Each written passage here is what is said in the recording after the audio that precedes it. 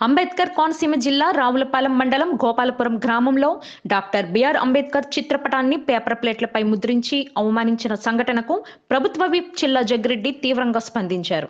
ఇలాంటి సంఘటనలకు పాల్పడిన వారు ఎవరైనా సరే చర్యలు తప్పవు అని యువకులపై పెట్టిన తప్పుడు కేసులను తొలగించాలని పోలీసులు చేసిన తప్పులను తీవ్రంగా ఖండించారు.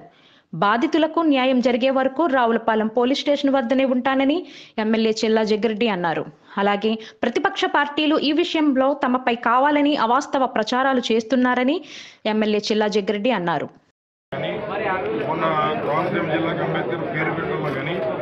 జగన్మోహన్ రెడ్డి గారు దళిత పక్షపాతాన్ని మరోసారి నిరూపించుకున్నారు దాన్ని చూసి వారవలేనటువంటి తెలుగుదేశం పార్టీ వాళ్ళు.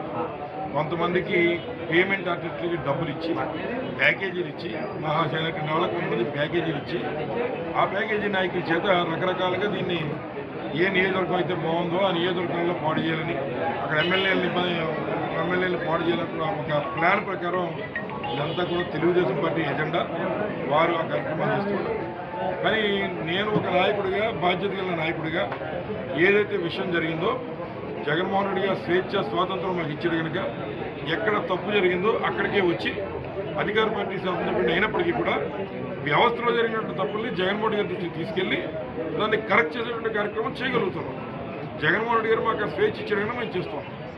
ఏదో ఈ బయట మాట్లాడేటువంటి వాళ్ళు రాజకీయ పప్పం గడుచుకోవడం గడుపుకోవడానికి జగన్మోహన్ రెడ్డి గారి ప్రభుత్వాన్ని ఏదో రకంగా భ్రష్టు పట్టించాలని కేవలం ఈ మీడియాల ద్వారానో లేకపోతే వాట్సాప్ల ద్వారానో వాళ్ళు ఎన్ని కార్యక్రమాలు చేసినా ఏదైతే కొత్తపేట నియోజకవర్గంలో ఇవాళ దళిత సోదరులు ఒక పద్దెనిమిది మందికి అన్యాయంగా మరి నాన్ బేరబుల్ కేసులు కట్టారో అది పూర్తిగా తప్పు అనేటువంటి దానికి ఒక రాజకీయ ఒక ఒక నాయకుడిగా నేను ఇక్కడ చెప్పడం జరిగింది.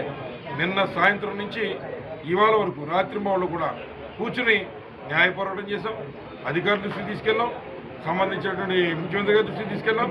పరిష్కారం దిశగా తప్పనిసరిగా దీనికి ఒక పరిష్కారం జగన్మోహన్ గారు చూపిస్తారు వ్యవస్థని సరిచేస్తారని ఆలోచనలో ఉన్నాం. డిఏ దగ్గర కూడా వస్తున్నారు. వచ్చిన వెంటనే వారితో చర్చించి మీకు విషయాలు చెప్తాం.